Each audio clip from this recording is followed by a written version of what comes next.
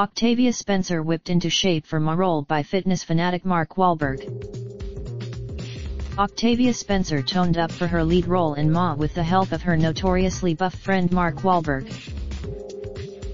The stars became pals while working together on 2018 comedy Instant Family, and to get in shape for her titular role in the new horror hit, she leaned on Wahlberg, who is famous for getting up at 4 am to work out every day, for hardcore exercise encouragement.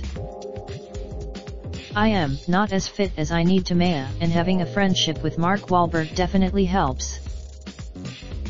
Octavia even disturbed her sleep to meet him at the gym before dawn.